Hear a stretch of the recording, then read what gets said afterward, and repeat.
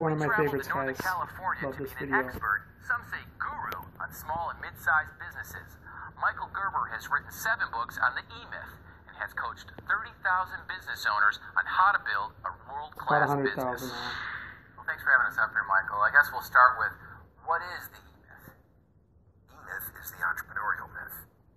And essentially it says that people who go into business are not the entrepreneurs that everybody believes them to be, but what I've come to know as technicians suffering from an entrepreneurial seizure. So the doctor opens up a medical practice, the attorney a legal practice, the software guy a software business, the hardware guy a hardware business, each of them believing because they know how to do the work. The software, the, the medicine, the law, they know how to build a business that does that work. And it's just completely not true. What could they do differently? Well, you'd go to work, as the E-Myth says, on your business, as opposed to in your business, like Ray Kroc did at McDonald's. He built the first prototype, and then he stood outside of it, not inside of it, and watched the little sucker work. When it didn't work, he knew that it was a problem with the system, not with the person. So he went to work like Deming would say, on the system, not on the person. The person's never the problem. The system is. The technician doesn't know that. You understand? That's what the is all about. Go to work on it, not in it. To build the foolproof system that any ordinary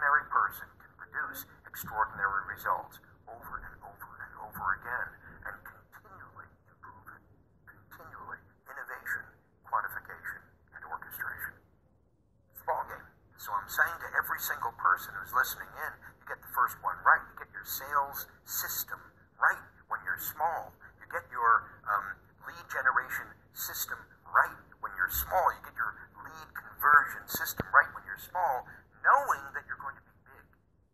And that because you're going to be big, it's absolutely critical that you've gotten it right so that you can replicate it tens of thousands of times. Give us sort of a brief example of the seven disciplines that are in your book? Well, um, in my latest book, Myth Mastery, I talk about the seven essential disciplines of a world class company. And they're really entrepreneurial disciplines and leadership disciplines. Um, and they come in the form of skills.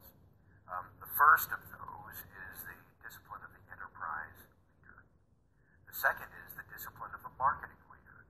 The third is the discipline of the financial leader. The fourth is the discipline of the management leader. And then there's lead generation, lead conversion, and client fulfillment.